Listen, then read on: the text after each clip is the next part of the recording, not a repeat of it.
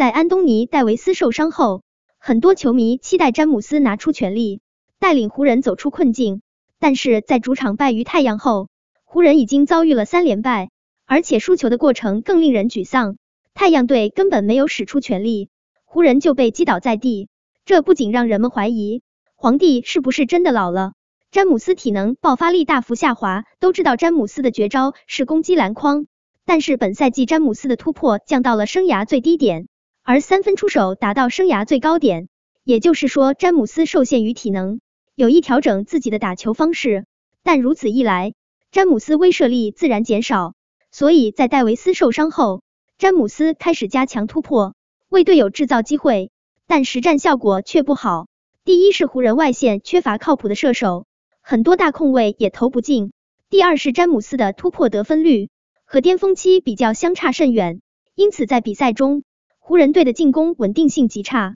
赶上手风顺的时候能连续得分。但一旦手感下降，湖人没有什么应对的方法。詹姆斯防守力不从心。如果说进攻端，詹姆斯咬牙还能提供三十的火力，到了防守端，詹姆斯真的力不从心。本赛季湖人比赛中，詹姆斯的防守注意力很难集中，很多时候他盯防的球员能轻松获得空位出手机会。另外，在低位的补防中，詹姆斯对篮筐的保护基本没有，很多时候目送对手突破上篮，甚至完成暴扣。如果是攻防转换中，詹姆斯更是多次出现进攻不中和裁判抱怨不参与全队退防，让对方形成多打少的轻松得分局面。这些镜头语言都在告诉我们，詹姆斯的体能和专注度都在大幅下滑，已经不受控制。因为有些比赛中，詹姆斯也想努力防守，特别是近期，他经常被迫出任中锋位置，去防守对面的大个子，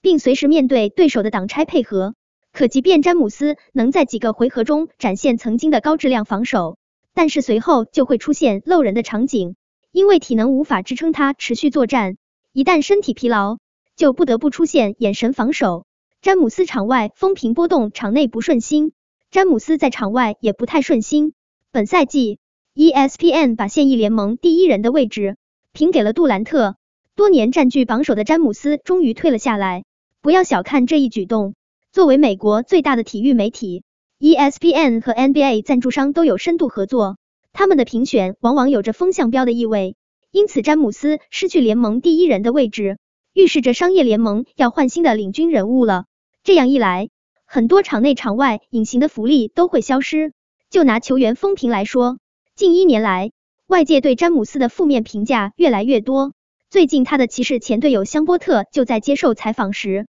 向詹姆斯猛烈开炮，一顿狂喷，其中包括詹姆斯当年巅峰抱团的争议行为。在香波特看来，詹姆斯那次抱团毁了 NBA 联盟，因为这种行为打乱了竞争环境，导致后来的联盟球星都学着抱团取暖。当主持人问香波特，二零零八年凯尔特人三巨头为什么没有这么大破坏力时，香波特表示，绿衫军三巨头在一起时，已经不是各自的巅峰期。而且三人的球星等级也没有詹姆斯那么高，热火三巨头可是巅峰抱团，而且詹姆斯被媒体认为是乔丹、科比一级别的巨星，所以他的行为对整个联盟来说是毁灭性的打击。另外，香波特还谈到了詹姆斯的假摔问题，他认为詹姆斯太过强壮，如果不假摔就不会引起裁判的注意，很多被犯规的球会被无视。这种评价虽然为詹姆斯假摔找到了一个相对合理的解释，但也坐实了其经常假摔的事实。